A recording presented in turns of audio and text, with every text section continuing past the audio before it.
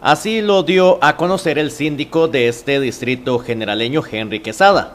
Son varios proyectos que están a la espera y que buscarán concretar en el menor tiempo posible en esta zona de Pérez Celedón.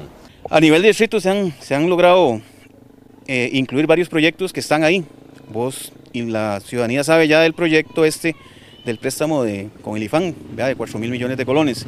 Dentro de este proyecto, dentro, dentro de este plan, este, se ha incluido la terminación de lo que es la calle, el entronque de la 327 con la 333, eh, lo que llamamos nosotros calle La Unión, calle Cementerio, porque este, el año pasado se hizo 475 metros, ¿verdad? el objetivo es poderla terminar. Eh, hay estipulado dentro del portafolio proyectos 2018 este, un kilómetro. Y es que son varios los proyectos de asfaltado y también de cementados que están a la espera en sectores importantes en este distrito generaleño. Este, meter otro kilómetro aquí de San Pedro hacia Tambor, de la esquina a la plaza, hacia Tambor un kilómetro más. Hay un kilómetro también de asfalto en lo que es la esperanza. O sea, solamente dentro de ese plan de proyectos tenemos tres kilómetros, ¿verdad? Y tenemos también proyectos muy importantes como cementados. Eso quería decirle, ¿verdad? Está ese proyecto que se metió ahora este, en el presupuesto ordinario 2019.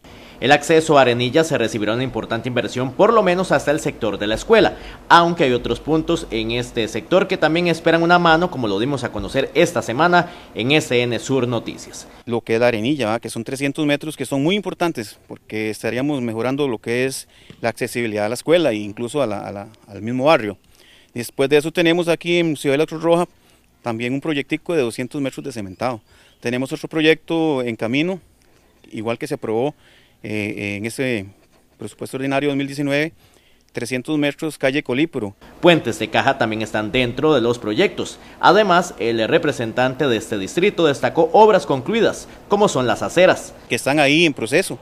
Aquí nomás tenemos un cuadrante que está inhabilitado desde hace mucho tiempo y en estos momentos está tramitando un puente caja para poder darle accesibilidad a ese cuadrante.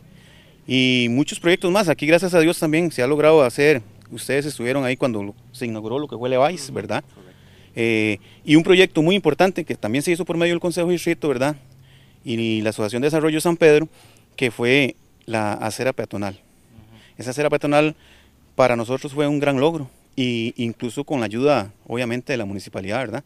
Porque descongestionó todo lo que fue el paso peatonal por media vía y a la vez también tratando de evitar accidentes a, a, futuro, ¿verdad? Porque por ahí no se podía pasar. Una lista de proyectos que están a la espera de ser una realidad.